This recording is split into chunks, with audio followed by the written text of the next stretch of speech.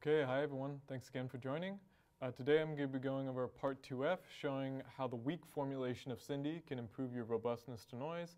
And then I'll briefly be going over how to uh, identify implicit ODEs with the SINDy-PI optimizer and library.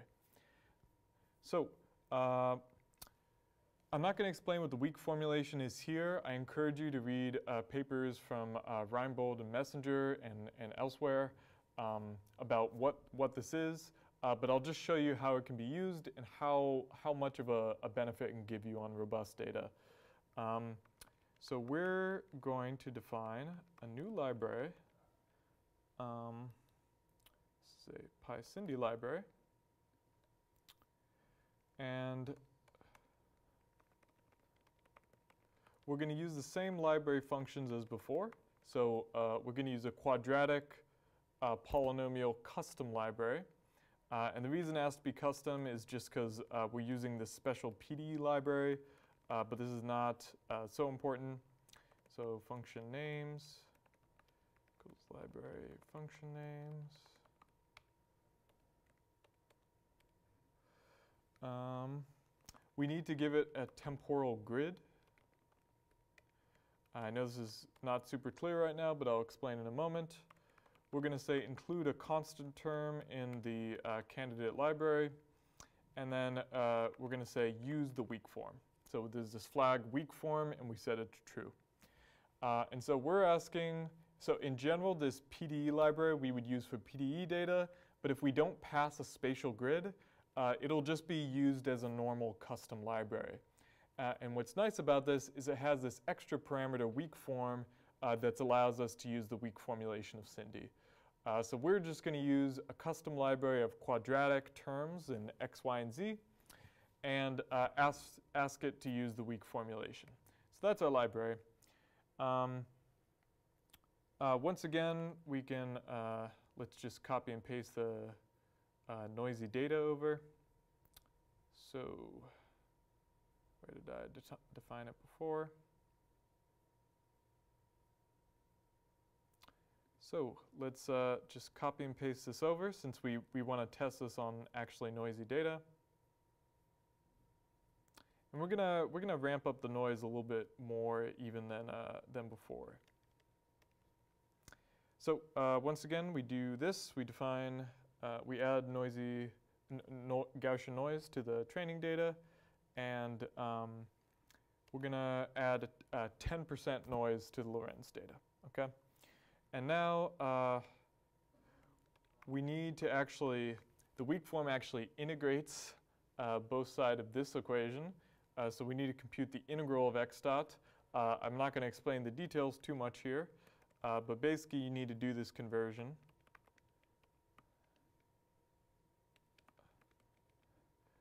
Uh, where we put in the training data with noise, the, uh, the uh, time base of that training data and the library that we just defined. It'll give us back this uh, x dot integral. Uh, we're going to then define our model as usual. Pass those uh, feature names XYZ we've been using for Lorenz. Pass the optimizer, which um, we're just going to use simple sequentially threshold least squares. Once again, the default defaults to lambda of 0.1. Um, and uh, pass the feature library called ODElib. Um, uh, let's see, anything else? Uh,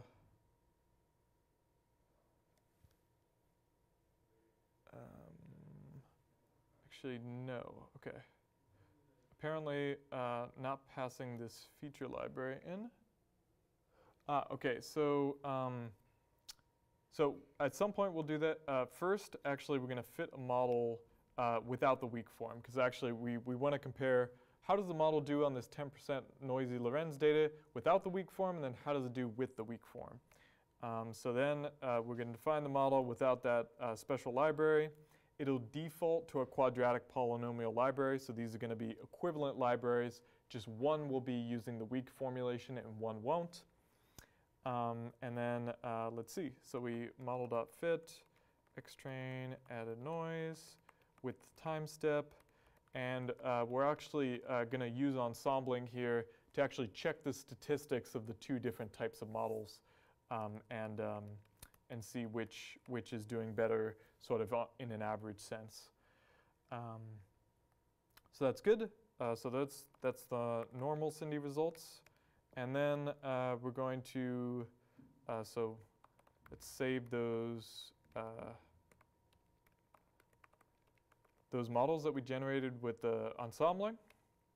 So, and then take, take the, uh, the average and the standard deviation of those uh, once again, as we did in the ensembling video.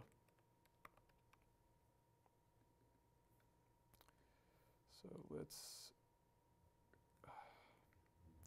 copy this. Oops.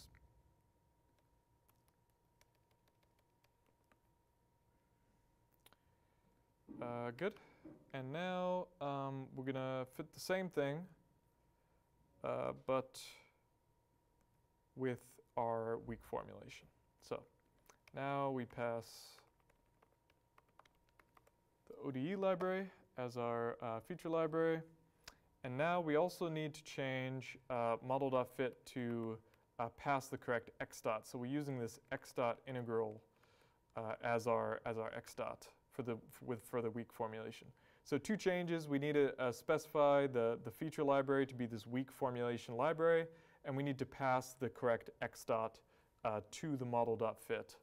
Uh, and once again, we get, we can print that model and uh, compute all the ensemble stuff. So uh, let's just change all these to weak.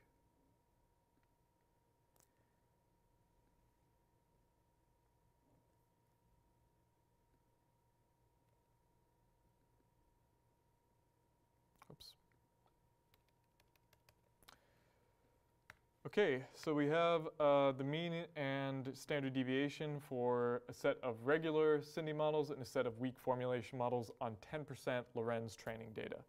Uh, and now we're just going to type plot ensemble results, which is that function we used earlier in the videos.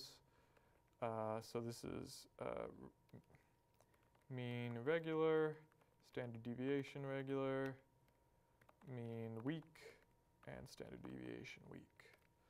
Hopefully that will run.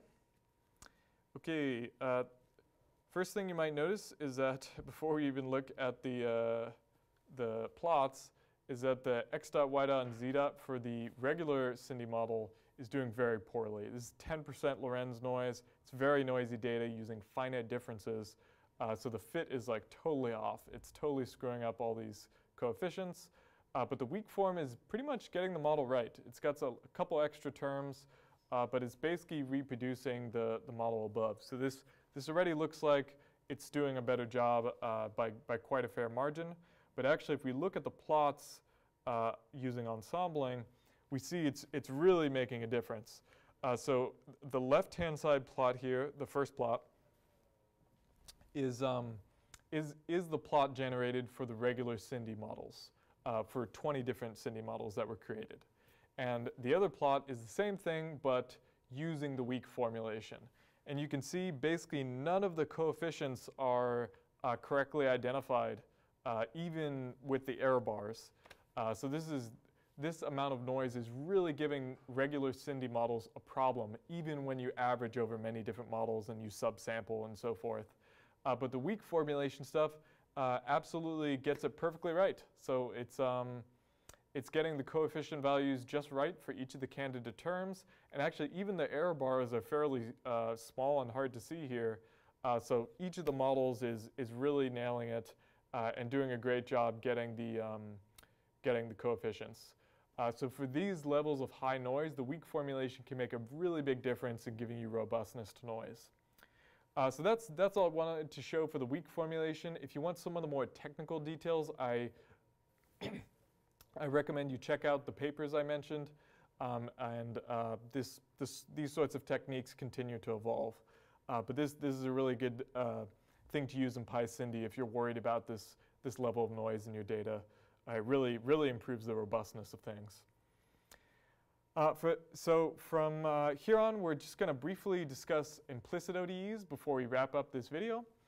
Um, an implicit ODE is, is really quite sim simple. It's basically that you have a, a, system of ordinary differential equations that depends on both x and x dot.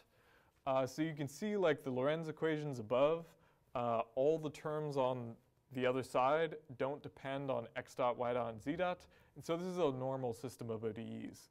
Uh, but you might have a system like this 1D Michaelis-Menten enzyme model where you actually have some like uh, some some term in the denominator.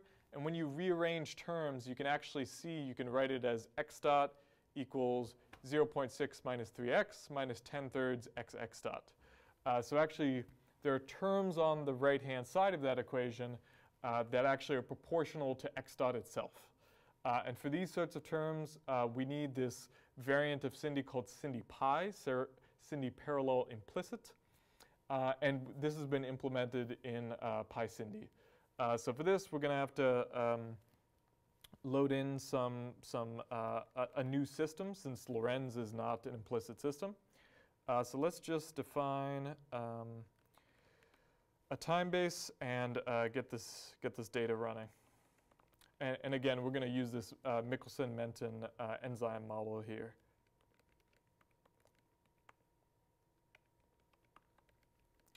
So apologies, it's going to take a bit of time just to uh, code up the uh, solution to this problem. Oops.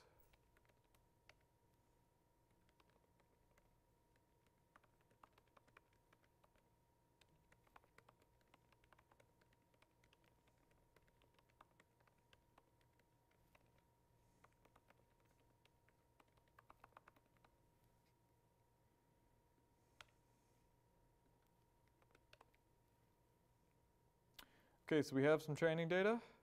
Um, we're just going to use the same custom library as we did before, this quadratic polynomial library in, x, uh, in, in the uh, variables. Uh, we're going to use that for the library for x, but actually we then, with this method, actually builds a different library for terms depending on x dot. And then it tensors those libraries together to get all the combinations of terms that can occur between those two libraries. Uh, so the x dot library, uh, we're just going to use a simple identity library. So it's just going to uh, take all the linear terms of the, uh, of the x dot variables. Uh, and then, um, so let's define our library. And once again, we're going to use the SINDy-PI library since this is an implicit equation. So we use library functions equals library functions. This is that library functions we used earlier in the videos. Uh, and then it needs our x dot library functions.